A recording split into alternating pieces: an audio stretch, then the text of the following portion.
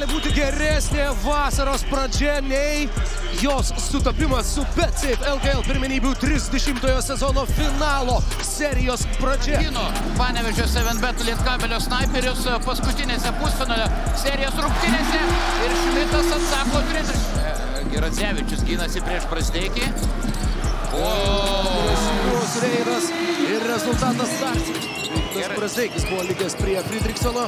Dabar prieš tai Brasteikis gerai gynėsi, e, bet paskui dabar labai. Vystės e, norėtųsi į finalę pamatyti gražesnėms spalvom. Viena pražanga ir dar vienas. Matydamas krepšio kamuolį buvo priverstas išmesti Fosteris.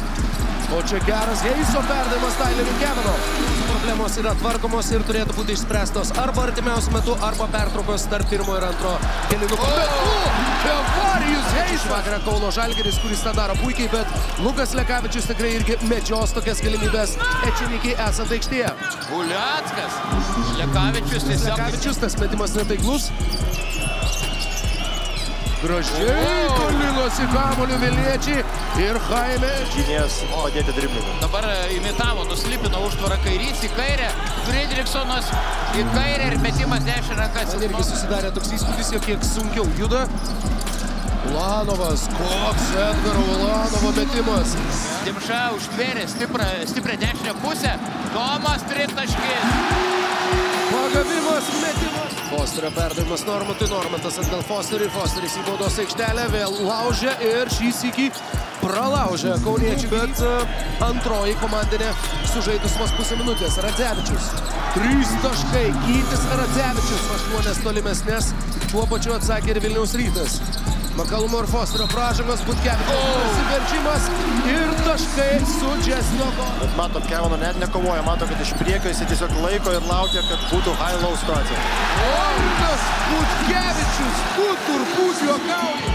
Išsiveda Kevarijus Heisa iš baudos aikštelės, verčiasi palei galinę liniją ir pelno du taškus su pražanga. Wow, koks žvėris svečiams, Lukas neišnaudoja labai geros galimybės. Na taip, ten nesusikalbėjo ir Lankas su kamoliu puolė. Va užturą vėl galėjo išsimesti džemperį, bet sudvėjojo, bet Kevano iš aikštės kampo. Ir gražina į aikštę atsikvėpusi Markusą Fosterį. Bet, nu, Lekavičius ir Kauno Žalgiris. Žalgiris stipriai periminti iniciatyvą. Kevano iki galo 2 plus 1. Audas ramiai grįžo prie Masiulio. Bandys žaisti vienas Markusas Fosteris ir tas bandymas. Žymų buvo labai prasti, tai nori, kad pa pagautų ritmą.